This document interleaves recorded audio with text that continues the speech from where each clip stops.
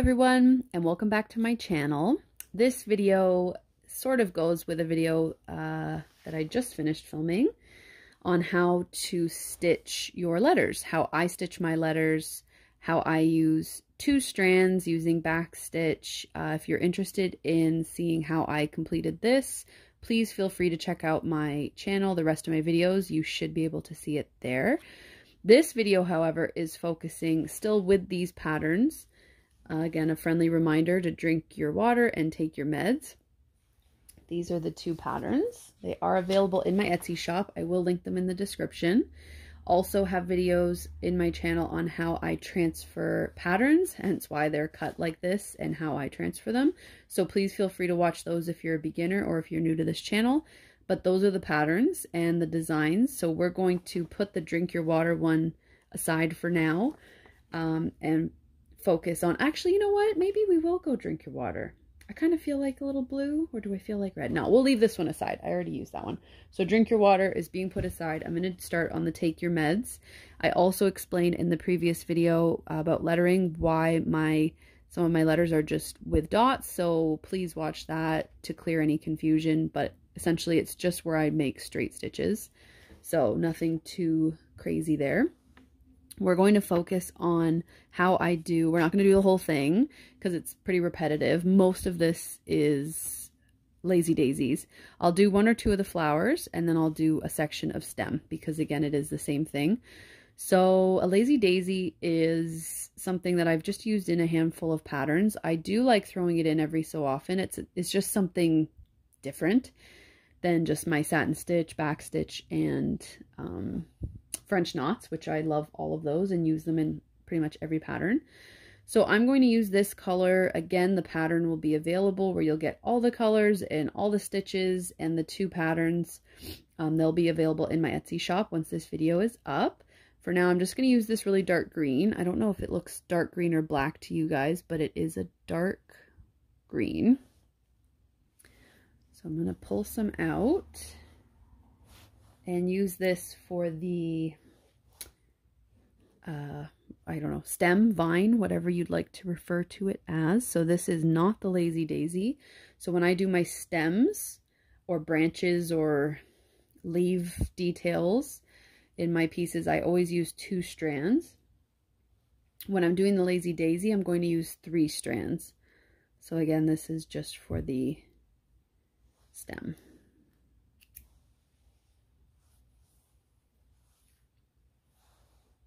Go. I should have my needle minder on the stitch. You know what? I'll put it on this one. If you don't know what a needle minder is, they're just usually a little decorative piece of metal, enamel pin, acrylic, uh, wood. There's so many different things it can be. It has a magnet on the back, and then it has a magnet that you put on the underside of your stitch, like this. And it, it's stuck on there. And once you have your needle and your thread, just so that when you get up to get a drink, use the washroom, tend to your children or your pets, you need to stretch your legs, whatever. Basically, whenever you're putting your stitch down, it holds your needle. So that's what this thing is, in case you're just wondering. Whenever I'm working, I work a lot on my on my bed, on a couch, on a chair, with blankets, soft, soft material. I don't need to be finding this later, so I'm very anal about keeping tabs on it because I also have two cats and a dog and I don't want them finding it. So anyway, if you don't have a needle minder, I do recommend it. You do not need it. You can also just put your needle through the fabric like that when you're not using it or have a pin cushion. Some people have bracelet ones that magnetize as well. So anyway, that's all that is. It's not a part of the design. So when it comes to the stems, let's pick this one. So this part here is what I'm going to be doing right now. Just the middle part by doing back stitch. Back stitch and a bit of straight stitch, I guess. Basically, I'm just, just winging it, doing it however I want. Normally, I would do a back stitch here, come up here, and go back in the same hole. You can do that. I'll do it down here. But when I'm doing Lazy Daisy, I tend to like leave a bit of a gap because I know there's going to be a few stitches going in there. So I'll do it on this one. Either way is fine. Just whatever works better for you. So I have left like a smidge of a gap in there, which again, normally I would not. And I'm just going to do one full stitch up. You can sometimes do these kinds of patterns really quick. They're good for a homemade gift for someone, for yourself, a little weekend project. But as you can see, I'm already done that. So it's this pattern, I can tell the two of them together. If you've stitched before, you could definitely do this in a day. And especially when you see how quick the Lazy Daisy is. So I'm tying this off. Put this thread aside because I'll use it again for another stem. So we've just done this section only. That's it on the back. And now I'm going to pick mm -hmm, two colors. You know what? I'm going to do those two. So in my mind, these are kind of like leaves, whereas these are more the floral elements. Again, I design them, I draw them, I transfer them, and then I pick colors as I work. So you're kind of seeing this one get made in real time, real life decision, real time decision, sorry, of what colors go where. It's a pretty important part of the pattern making process is picking colors that go, picking colors that go close to each other, and yeah, where your placement for them. So now I'm doing a lazy daisy. I'm going to use three strands. So I separate the floss into two separate parts, three and three. I'm going to set one aside because I will use it later. And again, I do this really quickly. Don't be intimidated. It looks confusing on video, but it's just because I've been doing this for seven, eight years. Uh, in one of my beginner videos, I do explain how to nicely, calmly, and slowly separate your threads. So if you're a beginner or feeling overwhelmed by my speed at some points, please don't be, and just feel free to go watch those earlier beginner videos. So here's the Lazy Daisy. Let me just readjust. Oh. Okay. So a Lazy Daisy is named lazy because it's pretty quick. I could choose to go around this leaf with a few back stitches. I could choose to fill it in with a satin stitch. Uh, there's a bunch of other stitches that you could choose to do, but a lazy daisy, essentially I go up through the one hole. I'm going to move that, that's confusing visually. Okay, I come up through that hole. I go back right next to it. I'm not going back in the same hole. To be honest, I just figured out how to do Lazy Daisy myself. I'm not sure if they professionals would recommend that you go through the same hole. I would assume not, but literally just right next to it. Pull it through, but not all of the way. Then I'm going up to the part here on my drawing at the tip. Again, this is heat erasable pen, so if I don't go exactly on it, it's going to be fine. Pull through. Don't pull too tight or too fast. And you get a little thing that looks like that. And then I just go on the other side and do like a little secure stitch. And that's it. It is so quick. And it's just something different. I really am growing to really like Lazy Daisy. At the right, you know, the right place at the right time. I don't just want to start throwing them into my patterns, but it's uh, fairly easy one. So again, don't pull at this point or else you're going to make it go, I'll pull. See how it went really straight? It went really no shape to it. I kind of want it to be, have a little bit of like life to it. A little bit of volume.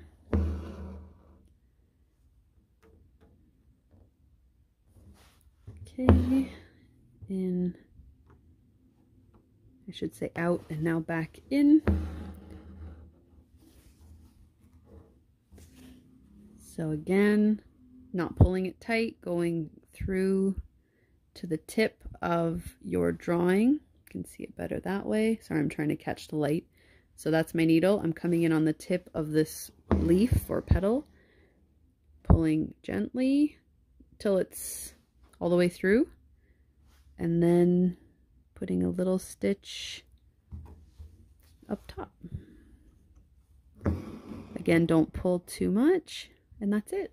That's exactly what I want. Like it's like a three-dimensional little leaf, but it's attached. Uh, it might get snagged easier on like rings or something on your hand, so just be cautious with a lazy daisy stitch. So you want it to basically fall. Like I wouldn't want to stitch it like this because it's going to be all twisty. So I'm trying to, and thread gets twisted easily after a few stitches. So that's the flat way. Do you see what I'm doing there? So kind of flatten it out, straighten it out because this bottom one I definitely didn't and it's wonky, you can tell. So it's naturally twisted back again. So I'm going to pull it through. Sorry, I have to put this down on my knee. I'm making this look more complicated because I have to do it at a certain angle to show you guys. It's not that tricky. Go.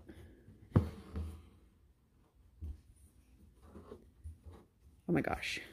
Oh my gosh, guys. We all do stuff like this. Don't feel like a loser. We all do it.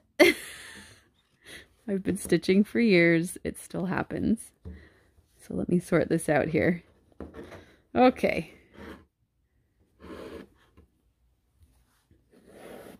There we go. No harm done.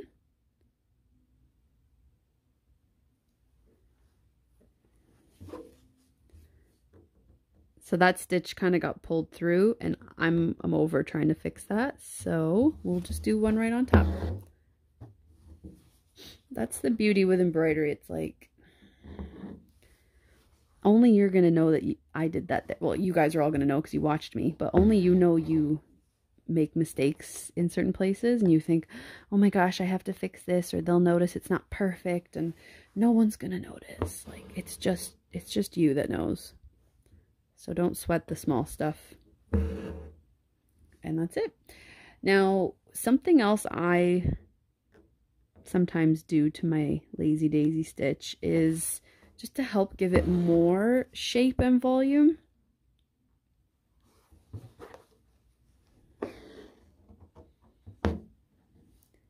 I do the regular stitch.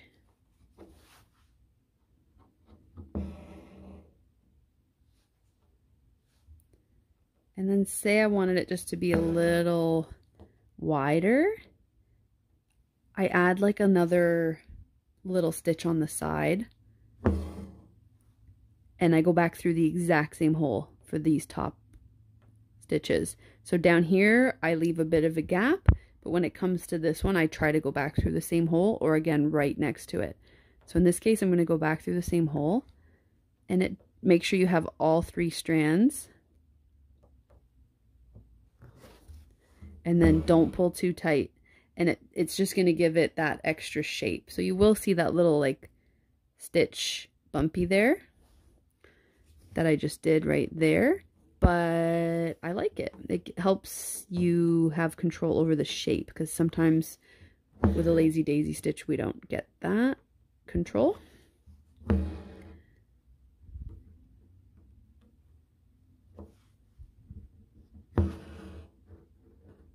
There we go. Last one on the top. And then I'll do a flower. Basically the same thing, just in a certain shape. How is this going to lay? It's going to lay like that. So again, try not to have them tangled or twisted because they won't lay flat. So I don't like how skinny this top one is. I'm going to add a little stitch to either side.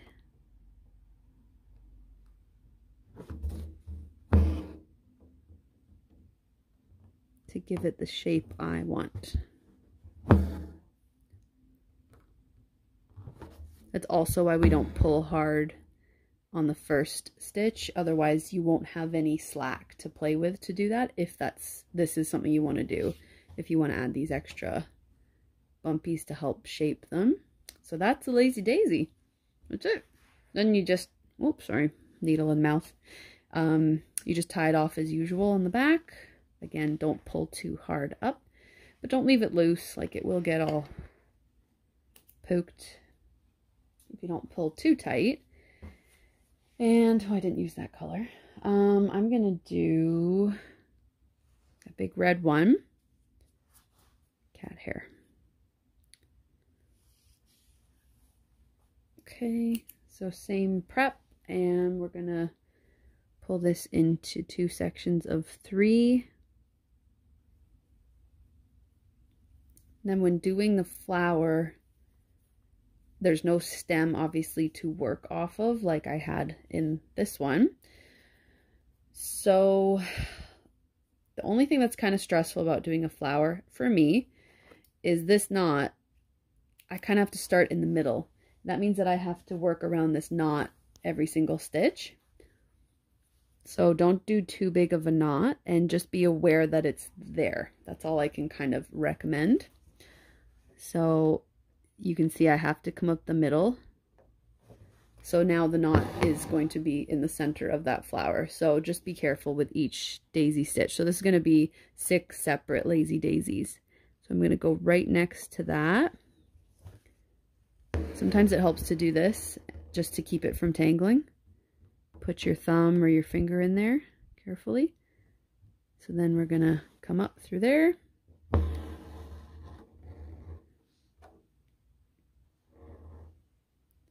Stitch it down and then repeat over and over six times.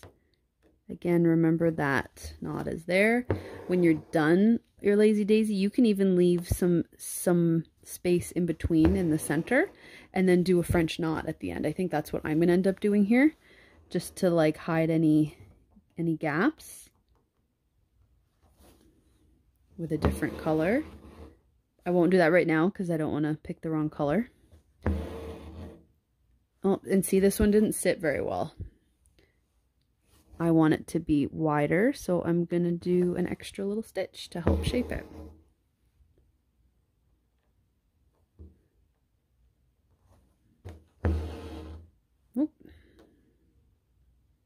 That's so annoying. I hate when that happens. Oh my gosh. Okay. There we go. I like that a lot more. And that's it. So yeah, a flower, a petal, little decorative uh, accents. There's you if you Google lazy daisy usage, you'll see some more ideas. Um, for me, I just like having it as like like I said, something different, kind of a quick little stitch and I like how it looks in the end. So I'm going to stop it after this one. And if you wait a moment, you will see the finished products. I will have a photo of them at the end of this video, along with some quick footage, and you can see the Lazy Daisies up and close. So if you have any questions, um, any comments, please don't hesitate to ask me in the comment section. You can reach out to me on Etsy, Instagram. I usually do reply fairly quickly. Again, these patterns will be together in a bundle and they will be available in my Etsy shop when this video is out. I will leave the link in the description. And for now, hopefully that helped. Thank you so much for watching. If you tackle these, let me know how it goes. And happy stitching. Thanks, guys. Bye.